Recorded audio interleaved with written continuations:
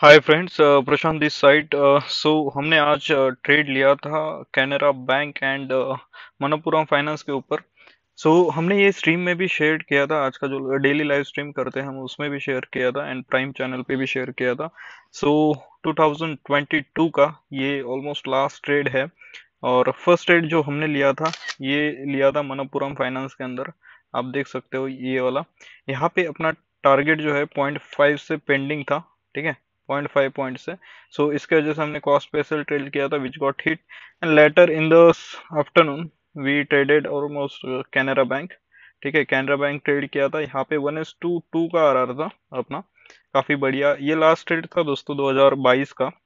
Equity के अंदर, आप देख सकते हो हमने यहाँ पे ये कॉस्ट पे एग्जिट किया था मनोपुरम फाइनेंस का 2500 का क्वांटिटीज लिया था।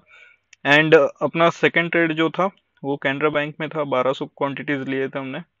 एंड इसमें one is to two almost छः पॉइंट्स बुक किए so seven thousand two sixty का कुछ प्रॉफिट बुक किया है। आप देख सकते हैं यहाँ पे total profit this one right so काफ़ी अच्छा ट्रेड था। एंड इसका पूरा डिटेल वगैरह जो है मैंने इसके ऊपर भी शेयर किया था अपने स्ट्रीम के ऊपर। सो so, काफ़ी सिंपल ट्रेड था। इसने मल्टीपल टाइम टेस्टेड जो रेजिस्टेंस था वो ब्रेक किया था। कैनरा बैंक ने शेकआउट भी हुआ था। आप यहाँ पे देख सकते हो।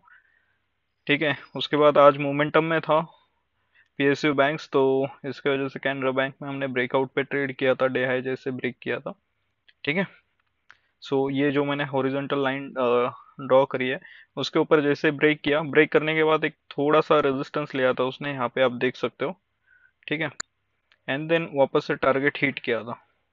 सो so, काफ़ी बढ़िया ट्रेड था। ओवरऑल काफ़ी अच्छा साल गया ये। सो आई होप आपका भी अच्छा गया रहेगा 2022 जो भी गलतियाँ 2022 के अंदर ट्रेडिंग के अंदर हुई रहेगी जिसके वजह से आपको काफ़ी लोगों को इशू होता है। Over trading revenge trading unplanned activities करते हैं। सो so, कुछ रूल्स फॉलो करिए खुद के ही एंड 2023 में ट्राई करो कि उसको रिपीट ना करें।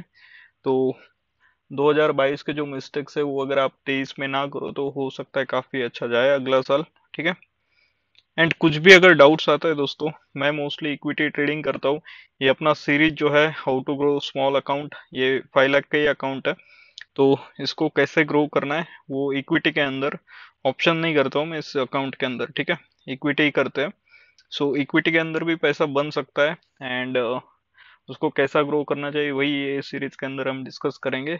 सो विद दैट सेड आज के लिए बस इतना ही रखते हैं and wishing you everyone and happy new year ठीक है 2023 आपको सभी को एडवांस में मुबारक। सो so, मिलते हैं नेक्स्ट वीडियो में।